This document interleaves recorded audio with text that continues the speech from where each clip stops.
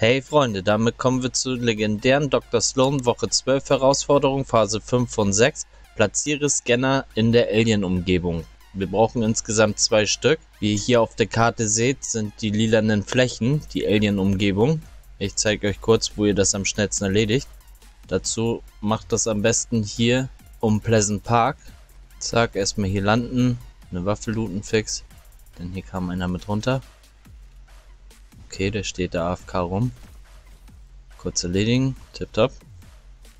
So, und wie ihr hier vorne seht, schimmert das auch schon blau.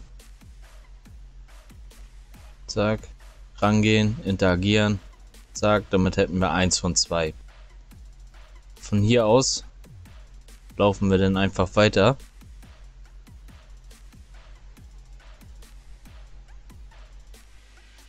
So, genau, da oben müssen wir hin laufen wir hier kurz über den Berg.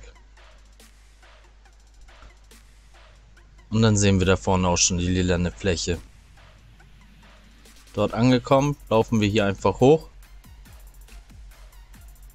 Und haben hier den zweiten Scanner.